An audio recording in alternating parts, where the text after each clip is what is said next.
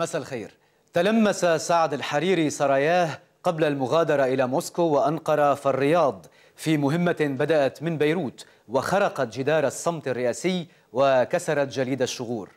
في السرايا التقى الحريري سلفه بعد حين. الرئيس تمام سلام وأودع القصر الحكومي عودته قريبا إذا ما تمت التسوية التي تؤهله مجددا لدخول هذا الباب الذي أخرج منه ذات قرار وهو على أبواب البيت الأبيض. لكن الحريري سيفوز هذه المرة على حسن نياته لأنه يكتب تاريخا يلغي فيه ثامن ورابع عشر من أذار ويطرح اسم عون وإن بأسلوب مضمر.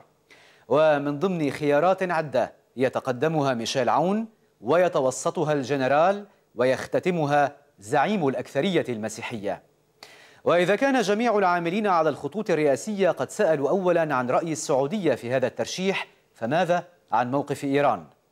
ففي حديث خاص للزميلة سمر أبو خليل من طهران أعلن المساعد الخاص لرئيس مجلس الشورى الإسلامي للعلاقات الدولية حسين أمير عبد اللهيان أن إيران تفضل الجنرال ميشيل عون للرئاسة فهو حليف المقاومة وداعم لها وقال عبد اللهيان إن تحرك سعد الحريري في لبنان حاصل على موافقة السعودية التي تؤيد كل ما يقوم به وإذا كان المسؤول الإيراني قد أدلى بهذه الآراء بموجب معلومات لدى الجمهورية الإيرانية فإن طهران والرياض أصبحتا على قلب مرشح واحد لكن تناغم السين ألف على الموجة اللبنانية هل يعبد طريق الحريري نحو الضاحية قريباً؟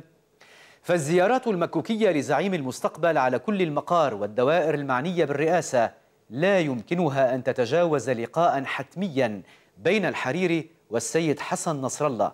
فمن هناك تبدأ الخريطة والكلمات. على أن حزب الله لا يزال صامتا في ظل خيارات لن تسمح له بمقاطعة جلسة لانتخاب عون ولا بالسير في ركب رئيس مجلس النواب نبيه بري الذي سيعبي المي بالسلة وسيجد نفسه معترضا وحيدا.